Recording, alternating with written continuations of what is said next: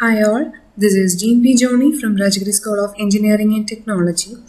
Today I am dealing with some topics in Module 4 of Subject Programming in C for S2 students of KTU. In this section we are dealing with the topics Union, Storage Classes, Scope, Visibility and Lifetime of Variables. First of all, we will see what do you mean by a union. It's a defined data type. It is very much similar to that of a structure. Like structure, we, we can have a number of variables inside it which will be of different different data types. So the actual difference between a union and structure is in the case of its memory. In structure, we can have different different memory location for all of its members. But in the case of union it can have only one memory location for the whole union. So the compiler allocates the space that can hold the largest variable type in the union.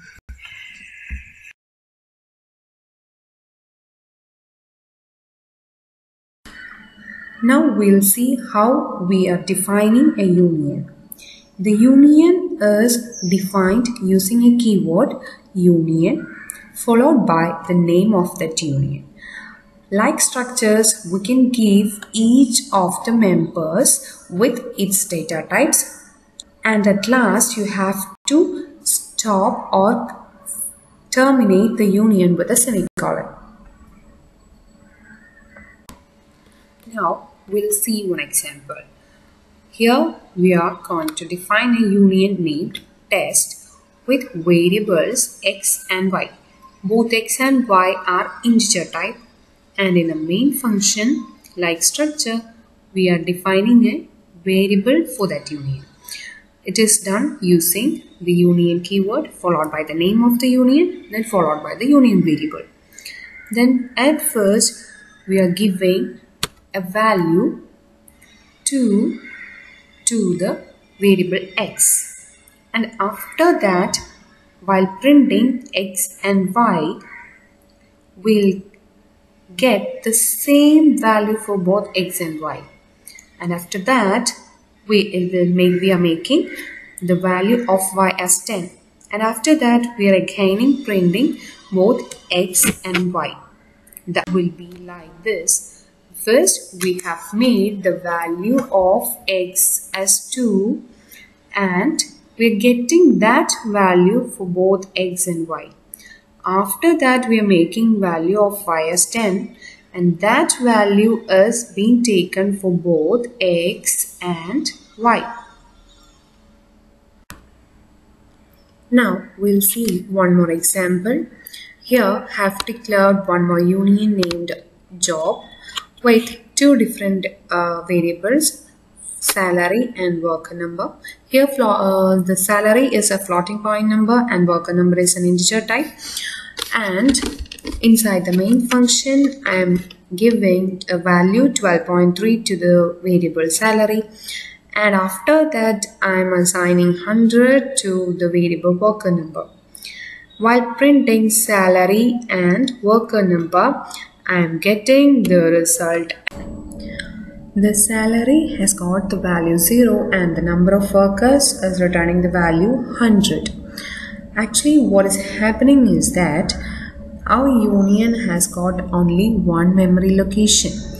First I have assigned 12.3 to that location inside the variable salary.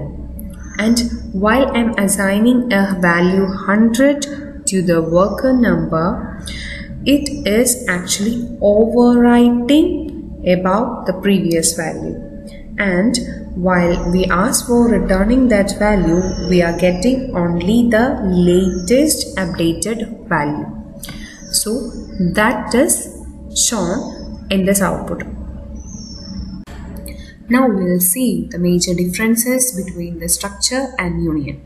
First of all the keyword used in structure is struct and the keyword used to define a union is the union itself. And based on the size, when a variable is associated with a structure, the compiler allocates the memory for each member. Then, then the size of the structure is greater than or equal to the sum of sizes of all its members. But in the case of union, when a variable is associated with a union, the compiler allocates the memory by considering the size of its largest memory. That means the total size will be equal to the largest member size. Then, when we compare about the memory inside a structure, each member within a structure is assigned with a unique storage area. But in, in a union, memory allocated is shared by each of its members. Based on the value altering, in structure, altering the value of a member will not affect any of the other members. But in the case of union, it will definitely affect all other members. And in the case of accessing its members, in structure, individual member can be accessed at a time. That means any member can be accessed. But in the case of union, only one member can be accessed at a time. Then, in structure, several members of a structure can be initialized at once. But it cannot be done in the case of union. Only first member of a union can be initialized. Now we'll see what do you mean by scope, visibility and lifetime of variables which are used in our program. Of a variable determines over what region of the program the variable is actually active. That means the area in which the variable can be accessed. Some variables are global and can be accessed anywhere in the program. On the other hand, some variables are local and it can be accessed for a particular function or a block. Then comes the lifetime. Lifetime refers to the period during which the variable retains a given value during the ex execution of that program. That means we can also say that lifetime of a variable is the time gap between its declaration and cleanup. Then comes the visibility.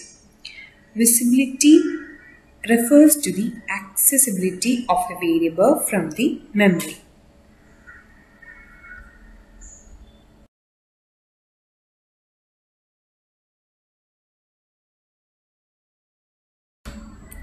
Based on the scope, lifetime and visibility, we have defined some storage classes. When we talk about our storage class, we have to know about the variables which we are using in our program. Every variable in our program has two properties, the type and storage class. The type refers to its data type and storage class tells the compiler about the storage area of a variable, the initial value of a variable and scope and lifetime of a variable. Okay, based on these, the storage class has got four types. First one is automatic, then external, static and register. First of all, we'll see the storage class automatic. The keyword auto is used for declaration of automatic variable and by default every variable pertains to an automatic storage class. The auto variables are defined inside a function. A variable declared inside the function without storage class name is by default an auto variable. The scope of the variable is local to the block in which they are defined. These variables are available only to the current block or program. Once the execution of the function takes place and returns turn off the function, the contents and existence of auto variable or local variables will vanish. So, whenever a function is executed, all the auto variables are allocated memory and delocated when the execution of function ends.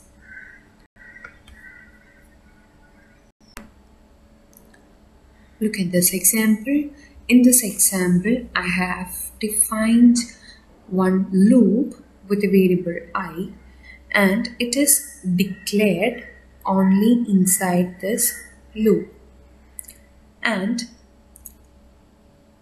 outside the loop I am trying to print the value of i since the i is not alive in outside the block this will return an error message because the i is only accessible and only active for that particular for loop. For that reason, the output will be an error message. The next one is register storage class. The keyword used to define a register variable is register itself and we can keep some variables in CPU registers instead of memory. For that we are using the register storage class. Okay. Then the keyword register tells the compiler that the variable list followed by the register keyword should keep in CPU registers because register access is more faster than the memory access. The problem is CPU registers are limited in number. Once the limit is reached, the compiler automatically converts them into non-register variables. Okay, then the default initial value will be a garbage value.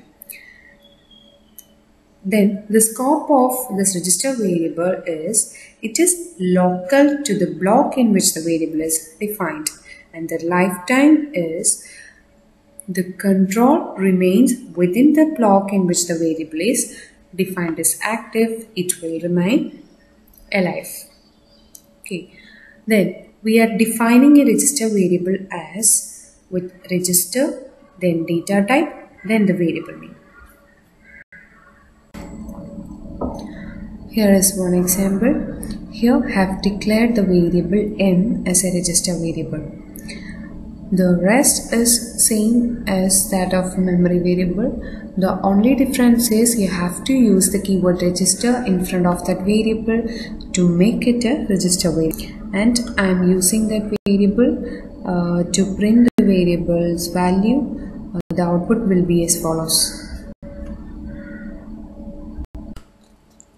As the name suggests, the value of static variables persists until the end of the program. A variable can be declared using the keyword static and the static variable may be either an internal type or an external type. It is based on the place of the declaration. First we will see what you mean by internal static variable. Internal static variables are those which are declared inside a function and the scope of that variable extend up to the end of that function in which they are defined. That means it will be alive that well it will be active in particular value until that function exists. And in the case of external static variable, it is a static variable which is declared outside of all the functions and that variable will retain its value as same throughout the execution of that program. In this example, you can see that here a static variable A and static variable C are declared. The static variable A is an external static variable because it is declared outside of all the functions. And also it is also accessible to all the functions main function as well as display function. And inside the display function have declared one static variable c. The c is not accessible from the main function. It is only accessible to the display function. Its persistence that is it remains constant for only the function display. That's the difference between internal and external static variable. Fourth storage class is external. The keyword to define a external variable is extern and the variables that are alive and active throughout the entire program are, are called external variables. So it is known as global variables. So the scope is global and the lifetime uh, it will persist as long as the program execution doesn't came to an end. That means it will be active from the start till the stop of the program execution. Once the program a variable has been declared as global, any function can use it and change its value. Then subsequent functions can refer, reference only that new value. That means the, here I have declared variable n as an external variable and in the main function I am incrementing it by 1 and again uh, calling a function display in that function I'm again incrementing it by 1 so I'll get the result as